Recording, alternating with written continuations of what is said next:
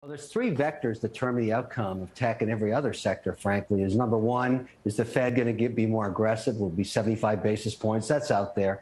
Number two is when is the consumer going to roll over? Hasn't shown signs of doing that yet.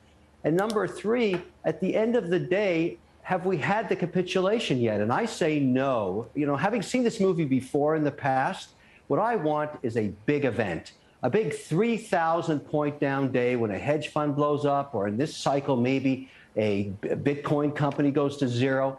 Somebody's in trouble right now, somebody huge, over levered probably. We don't know who they are. But if you look back at great bottoms, it's always on a day of absolute chaos because somebody goes to zero. I want that. I'd like to sacrifice somebody, not me, of course, but somebody, and I'm not levered, but somebody out there is, and they're going to zero, and that will be our bottom. But we're nowhere near that yet. This slow grind down is painful, and it will continue. So, what happened to the Kevin O'Leary who on May 6th was with me and said, "quote The slowdown's not evident. There's going to be no recession this year." A buyer of Chevron, DuPont, Cigna, Moderna, United Health, Home Depot, Apple, J and J, P&G, Pfizer, Alibaba, Tencent, and was looking to add to Facebook. Where'd he go? Where'd Mr. Well, Wonderful turn into Mr. Awful? What happened? Wait a second. Two out of three are still true. The consumer is not rolled over yet. I think there's a zero chance of recession, but that doesn't mean PEs can't get compressed. And having seen slow grinds down before, and I'm not the only person that's lived through this multiple times, is I go back to what I just said. We need capitulation. We haven't had it yet.